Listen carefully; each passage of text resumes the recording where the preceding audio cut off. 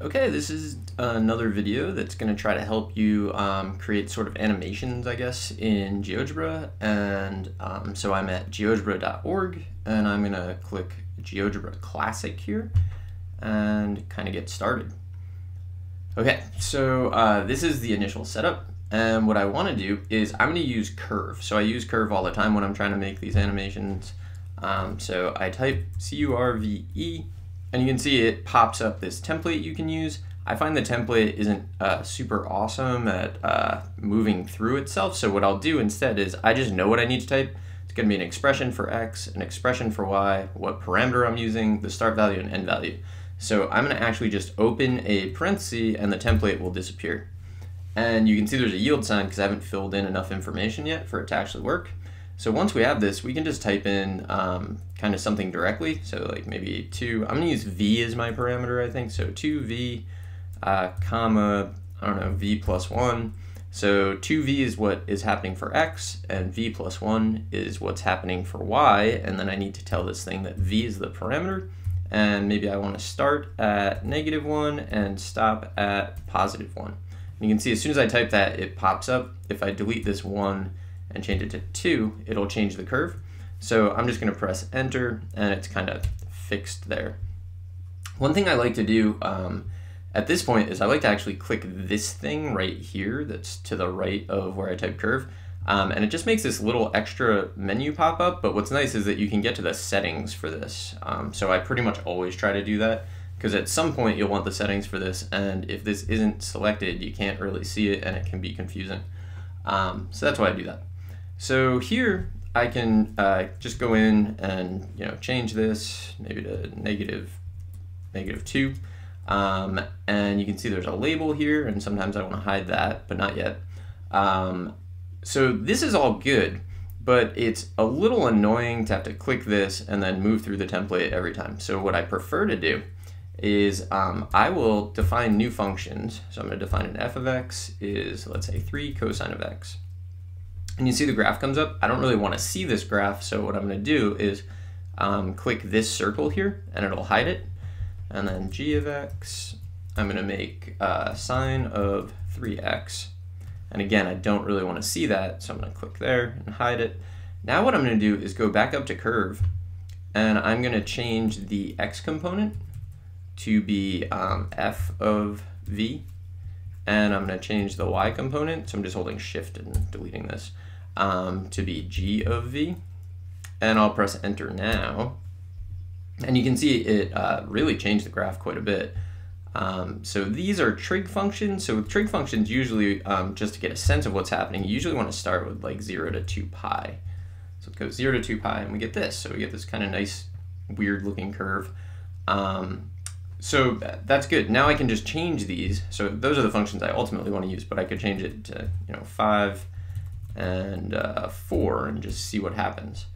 And uh, sometimes you, you might not be sure, so maybe you want to add uh, something here just to make sure you're seeing the full curve. I am seeing the full curve, so it didn't make a difference, but um, you can check that after you make changes to your, to your uh, component functions. So let me change this back to uh, 3. Uh, there's actually nothing special about this curve, but it's what I decided to use. So we have this, and that's pretty neat curve. Um, I'm going to change, I'm going to create a slider now. So there's two reasons that I'm creating a slider, and we're going to look at both of them. So I just press T, or type T, and it asks if I want to create a slider, and I do, so I'm just going to click this. And it defaults to negative 5 to 5. We can change that. Um, one thing that I really like to change about sliders, I like to hit um, the three dots there and go to settings. And then I like to change it, so click slider once this pops up and change from oscillating to increasing. So oscillating will make it go from negative 5 to positive 5 and then backwards from 5 to negative 5. I don't really want that. So if you make it increasing, it'll go negative 5 to 5, and then once it gets there, it will um, just bounce back to negative 5 and start over, uh, which I do want to happen. So I click the X to save that. And now let me just like press this and you can see what will happen.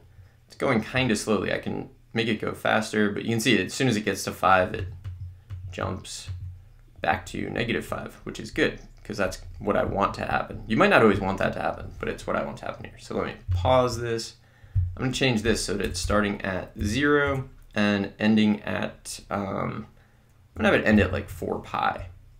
So we have this, and I can animate that. That's good.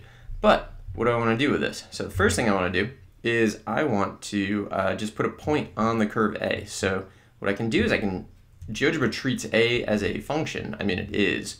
So it's going to be A of t, and a little point shows up, and if I animate, you can watch the point move along the curve, which is nice. It's also nice if you hide the curve. Sometimes you don't really want to see the curve, you just want to see the point moving along the curve, um, and you can get nice looking things that way. So we can see this. There's another thing we can do. The um, parameter start and parameter stop can actually be dependent upon t. So they can be their own, um, they can depend on another variable. So what I'm going to do here is I'm going to go from, uh, I don't know, t to t plus 1. And so all we're ever going to see is like one unit of time, I guess you might say, for this curve. Um, so let me hit enter. And what I like about this is that um, it looks kind of neat. But you might notice that uh, in doing this, the point is kind of at the tail. So there's two options. One, I can go in here and change this to be t minus 1, and this will be t, and then my point will actually be at the beginning of the curve, which looks a little better, I think. Um, a second option I will do on another curve, just to kind of show you what can happen. So we have this set up. I think it looks kind of neat. Um, looks like uh, something kind of swimming around. And now what I'm going to do is I'm going to add another curve. So I'm just going to type curves, U-R-V-E. And then the curve I'm going to do this time is negative 2. I'm just going to kind of like hard code it in. So I'm not going to create new functions for the for the components because um, our list is pretty big and I have a plan. Um, so here, v is my parameter. And for this, I'm going to go from t to t plus 0.5. And I see this.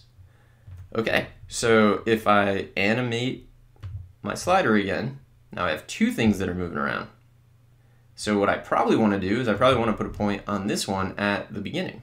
So if we go back and look at the definition here, I have to kind of scroll to the side. It's going from t to t plus 0.5, so the front of this is always at t plus 0.5. So the point that I put, I want to be at b of t plus 0.5. You can see as soon as I type t, it's at the end. Plus 0.5 moves it to the front. And let's animate again. So it's looking kind of neat. Um, one thing that I don't like is that all these labels are here. So what I'm gonna do is I'm just gonna uh, like two finger click on this and it's basically right clicking if you have a mouse and uh, I just unclicked show label. So you can see here this little A is here. When I do this it's gone. And then do the same thing here show label. Um, and then I really, I don't really need to see this either, but what I'm gonna do here is I'm gonna go to settings, and then, so I'm on point A. I, I've gone to settings by clicking the three dots, go to color, I'm gonna make this uh, red, I guess. And then you can actually turn off the label here if you go to basic and uncheck show label. And now if, I'm, if I click on B while I'm here, it changes over to all the settings for B, so I don't wanna see the label. And what color? I don't know, I'm gonna make it this greenish color. Um, actually, that is green according to this. So now we have this. And you see they're going kind of at different rates, um, and sometimes they appear to have different lengths. And so it looks kind of neat. And that's the whole point. We're just trying to like play around and create an animation. Um, so another thing you might try to do here, because they kind of look like things that are swimming around, is think about what if I tried to, uh, I don't know, put them in like an aquarium. So I'm going to do that with just a rectangle. I'm going to put a rectangle around where they're swimming. But I need to figure out where they're swimming. So if I look at curve A, its x-coordinate is determined by f. And if I look at the definition of f, f is 3 cosine. So I know that f, the x-coordinate here, can go anywhere from negative 3 to positive 3. So that's a, a thought on a start. And then the y-coordinate um, is g of v. Oh, I can actually just look down here. So here was the x coordinate, it's between negative 3 and 3. And then the y coordinate is always going to be between negative 1 and 1 because of the amplitude of this sine function. So right now the box would need to be um, uh, like 6 wide on the x-axis and 2 wide on the y-axis, but I need to think of the other curve also. So here on the x-axis, it's from negative 2 to 2, so that doesn't change anything. But the y-axis, I can go negative 3 to 3. So I need a polygon. Uh, I'm going to make it a rectangle. Well, I guess I'm going to make it a square, it turns out. Um, so I'm going to use the polygon command. So P-O-L-Y-G-O-N. And you can see there's a lot of options. There's a list of points, and then it uh, uh, like another list of points. You can give it two points, a number of vertices. I'm just to directly type them in. So parentheses. So I want to start, I'm to start at negative 3, uh, negative 3. Then I'm to go to uh, positive 3, negative 3. And you can see there's one line, one segment, and then comma, I'm to go to 3, 3. You can see as soon as you type 3, it makes a polygon with three sides. Um, but I actually want to feed it the vertices, so 3, 3, and then negative 3, 3. And okay, so it's kind of a gross looking aquarium if it's an aquarium. Um, so what I'll do is I'm going to change the color of this. One thing to notice, when you use Polygon, it creates a lot of things. It creates all of the segments. Um, and it also turns the label on for all the segments. So I actually want to go through and turn those off. So I'm going to right click on each of them. Don't show a label there. And don't show a label here. And don't show a label here. And don't show a label here. Okay. And then I'm to two finger click on this and go to settings and color and let's pick a watery color. Let's pick something darker. Let's make it, let's increase the opacity a little bit. Okay, so I don't know, that looks okay. Close that and hit play. And there we go, we got two weird little things that are swimming around. Um, there's one other thing that I'm going to do. There's no reason to do this, but there's no reason to do any of this other than to just kind of like learn and have fun with it. So what I'm going to do is I'm going to add some points on the tails of these things. The way I'm going to do that is I'm going to use a sequence. So here's what I'm going to type. SEQ, ooh, I almost forgot how to spell sequence. So SEQ and everything pops up. Um, so I'm going to use the one that says uh, expression variable start value end value increment. So the last one in the list. But again, I just have memorized what to do because I don't really like using these templates. So the expression that I want, I'm going to put something on um, curve A. So I want A of, I need a parameter, so I'm just going to use V. So I'm creating points. I'm going to create a sequence of points. And then V is um, the variable for this expression. And I want to start, so let's think about how A is, de is um, defined. If we scroll up, A goes from T minus 1 to T. That's, that's the part of the curve that we're seeing. It's from T minus 1 to T. So I also want this to go from t minus 1 to t. And you can see it's already put a point at the end here. But this has another argument, which is um, what do I want to count by? So I'm going to count by 0.2. And so now we have a bunch of points on here. And they're kind of a weird color, but I'm not going to worry about that. Let's animate this. And you can see those points always just kind of stay where they are.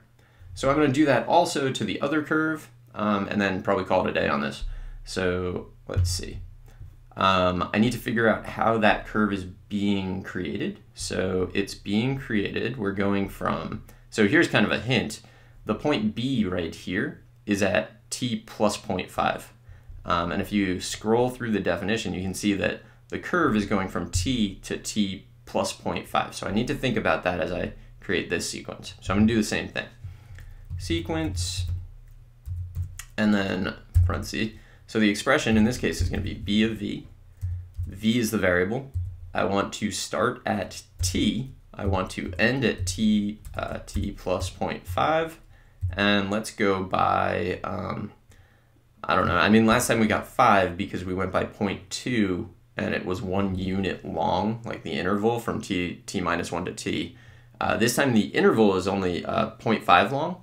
So I'm going to count by uh, 0.05s uh, point oh, yeah, I want to go there, there, and then by 0.05 and press enter. So we get 10 of them to go from uh, t to t plus 0.5 by 0.05 takes 10 steps. So we get 10 of them, and then uh, I could change the color. So if you click again, go to settings, or you could click those three dots. Uh, color, so I mean they're red, so I guess I'll make them red. And then same thing for this sequence, just click it in the description and then you can change the color here, which I think I chose this color.